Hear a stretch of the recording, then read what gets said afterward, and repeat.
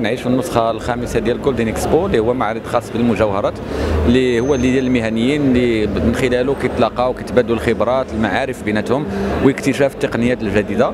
الآن كنعرف هذه النسخة هذه كتعرف المشاركة ديال أزيد من 50 عارض من دول من المغرب وأيضا تركيا الهند الإمارات العربية المتحدة ألمانيا فرنسا وإيطاليا.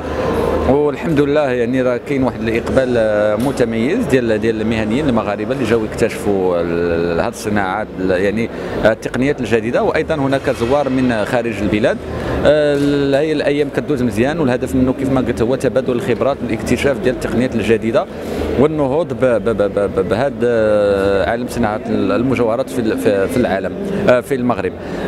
كما قلت هذه النسخة أيضا كتعرف ورشات تكوينية في إطار يعني خصوصا مثلا ديال الضمان ديال مكتب صندوق الضمان الاجتماعي اللي جاي باش يشرح للناس البرنامج المولوي المولوي ديال التغطية الصحية.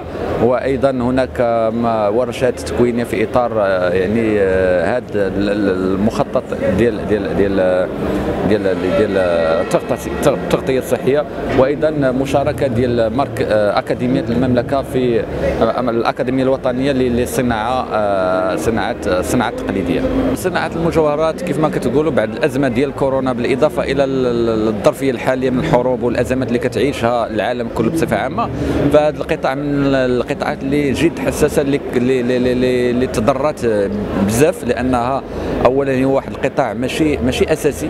يعني الناس كيفضلوا الأساسيات على على الحلي باش يلبسوا. وبالتالي فكيف ما الناس يعني تأثروا بزاف حتى الصناع ديال هذا المجال هذا تأثروا لأنه كذلك ماشي ففيه الناس واحد المجموعة ديال الناس خدامة أسر بزاف عايشة في هذا اللي هما صناع صغار وأيضا يعني تضروا من هذا من هذه الأزمة.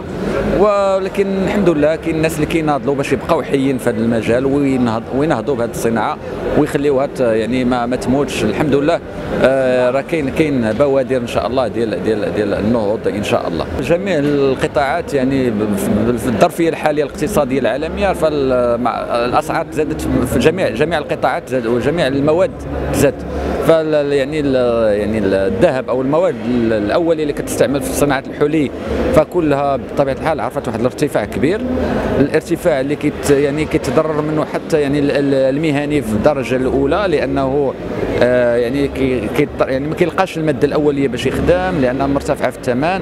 وبالتالي آه يعني كيكون واحد الضرر تا هو يعني كتقاس حتى هي سواء لأن الثمن كيرتفع وكيف ما قلت بما أنها ماشي مادة حيوية فضروري أنها كتأثر بسبب ارتفاع المادة الأولية.